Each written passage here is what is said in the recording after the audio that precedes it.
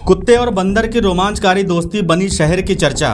वैसे तो आमतौर पर बंदर और कुत्ते की दोस्ती नहीं रहती है, लेकिन खरगोन शहर में सुबह मॉर्निंग वॉक करने वालों के लिए इन दोनों की दोस्ती बहुत ही रोमांचकारी नज़र आती है। जी हाँ चौकी नहीं, शहर में बंदर और कुत्ते की दोस्ती की तस्वीर का वीडियो चर्चा में है और वीडियो वायरल भी हो रहा है। बंदर और कुत्ते को एक साथ फ़िल्मों में अच्छा किरदार करते देखा गया है।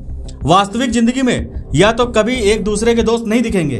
कुत्ते और बंदर की दोस्ती कैमरे में कैद करने वालों ने मॉर्निंग वॉक के दौरान पुराने कलेक्टर ऑफ़िस में कुछ दिन पहले बंदर को कुत्ते को पीटते हुए दौड़ाते हुए देखा था।